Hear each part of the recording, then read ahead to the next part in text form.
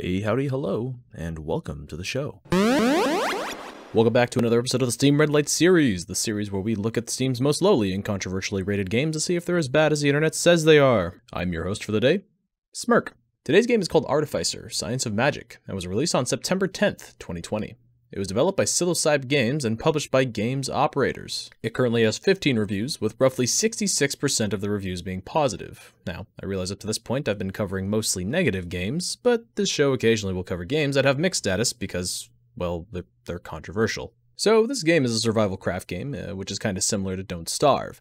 At the start of the game, the game offers you a casual mode where you respawn upon death, or an adventure mode where when you die, you have to start all the way over. You take the role of an uncustomizable character that crash lands on a planet as humanity's second attempt to investigate a distant planet that shows signs of life. Once your less than ideal landing is completed, you're accompanied by your only known companion, a talking dog, which helps ease you into the first few minutes of the game. And when I say few, I mean a few, because the game mostly cuts you loose and you're on your own with some loose idea of what objective you should complete. Since it's a crafting game, you pick up resources by using the means you have, whether it's by axe, pick, or even by hand. You gather the resources you need to complete recipes that will help further your capabilities to continue exploring the planet of Alcor.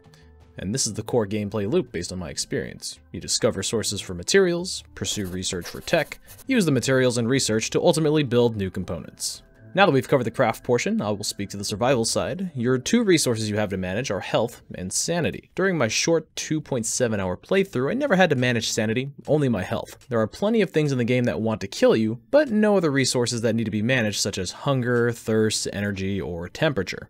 And now that we've covered the basics, let's talk about what makes the game good.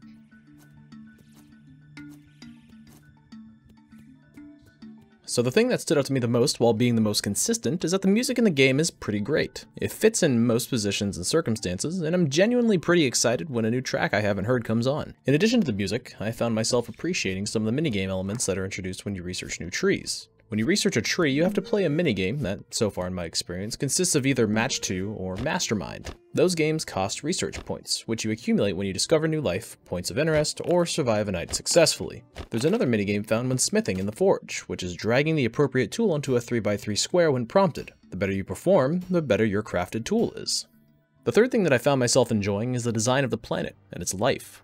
I'm typically excited to experience the visual brainchildren of artists, and I thought that while some of the Predator designs weren't exactly exciting, I did think that some of the Flora designs were pretty interesting. For example, there's this plant that robs your sight when you get close to it, and when I encountered that for the first time, I, I thought that was pretty cool. Lastly, the dog curses, and you can also pet them. And now that we've covered the good, let's cover the not so good.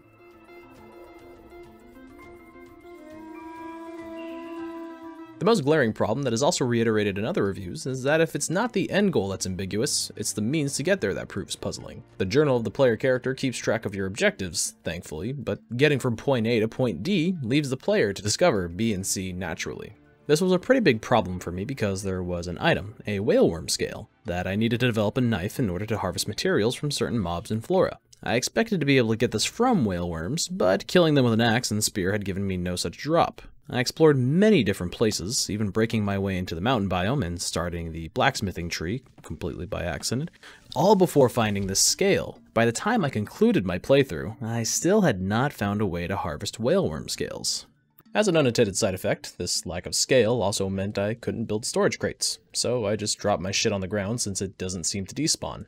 And modern problems require modern solutions. The second biggest problem for me is that the AI is mostly non-threatening. You run faster than almost every mob I had run into, except the bees. what is that? What is that? What is it? Oh, no, not the bees! Not the bees! Ah! You can also easily manipulate most enemies to get them stuck on terrain in order to harvest materials. Healing is also incredibly quick. While I wasn't able to craft medkits, I could craft bandages out of materials that were plentiful. These bandages heal 10 health immediately, and because you run faster than so many threats, there's very little chance of them catching up to you for the half second you have to apply the bandage. When I realized that enemies didn't move faster at night, or even behaved any differently, I no longer was afraid to leave my settlement at night. Lastly, the third problem I had encountered in the game was just overall in regards to the amount of bugs or questionable in-game experiences I had, either gameplay related or aesthetically related. I'll list out all the short ones that I had found notable, but is not all of the bugs I had experienced in the game. Tooltips layer over the settings menu. There's this loud, unbalanced sound that is substantially louder than the rest of the game. There's no way to turn off the campfire to preserve fuel. On the flip side, your kiln turns off if you go into your tent. Also, is, is there a point to the tent other than being a place to put stuff? The kiln only turns on if it's going to produce a result. This led me to believe that I was using the kiln incorrectly for a while until I figured this out. Moving my communicator into my inventory with it in focus causes it to continuously be displayed in the top right hand corner. The textures in the mountain mines are pretty screwed up. You can even walk behind some of them in some places. Don't go that way. Never go that way. Oh, thanks. Which ends up eating materials if you mine in front of them.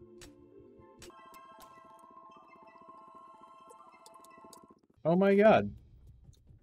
I mined that rock and there's nothing here. What the hell? There was this one specific dungeon I was in where I took damage I genuinely could not see the number of because it was gray, which was also against the backdrop of a very gray environment.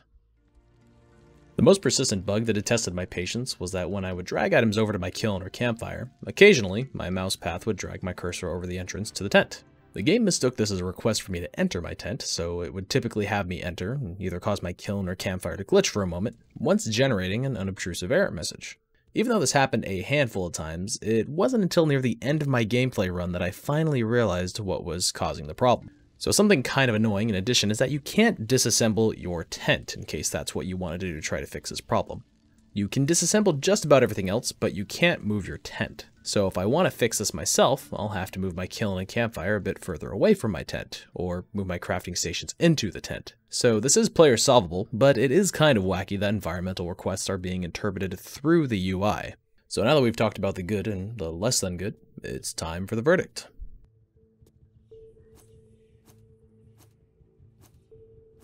The game has great music, some research and crafting gameplay elements are innovative and occasionally challenging. Some of the planet designs are unique and refreshing.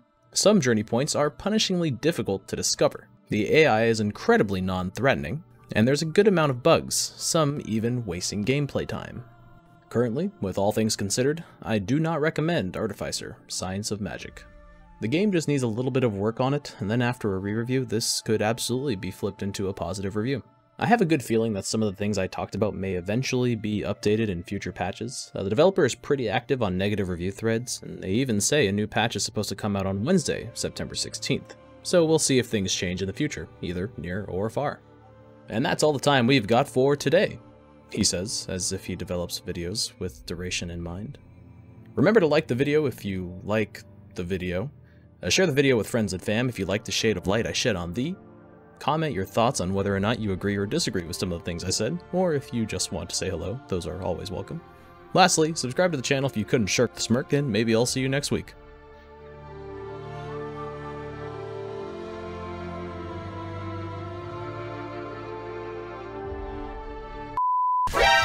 I never built that uh, that fire, so I guess I'll just I'll just run around for a little bit.